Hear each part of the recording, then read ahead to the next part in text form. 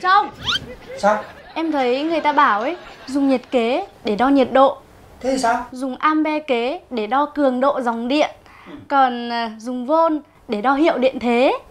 Ờ. Để đo sự trung thủy và bền bỉ của người đàn ông ấy Thì người ta dùng mỹ nhân kế. Ừ. Thế còn để đo sức khỏe của người đàn ông Thì người ta dùng gì hả mình?